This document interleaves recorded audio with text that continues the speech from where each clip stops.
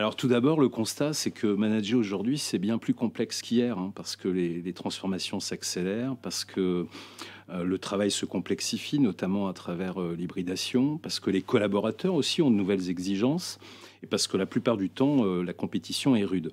Et du coup, dans ce contexte, nous, on se donne trois missions. Hein. La première, c'est d'accompagner les, les primo-managers dans leur prise de poste, qu'il s'agisse des managers opérationnels, mais aussi des managers qui deviennent managers de managers.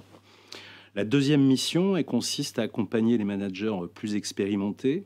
Alors d'une part en leur apportant des méthodes, des repères, des outils euh, très opérationnels et, utiles au quotidien, mais aussi en les aidant à développer leur leadership euh, personnel, parce qu'on a une conviction, hein, c'est que le premier outil de management, bah, c'est d'abord le manager euh, lui-même.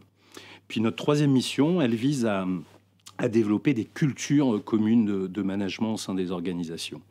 Et ce qui nous anime lorsque l'on conduit ces missions, bah, c'est de produire de la performance, parce que la première finalité du management, c'est de produire de la performance, mais de la performance pas n'importe comment, en développant euh, des postures de management, des pratiques de management qui construisent des équipes plus libérées, plus engagées, plus responsables, plus confiantes aussi.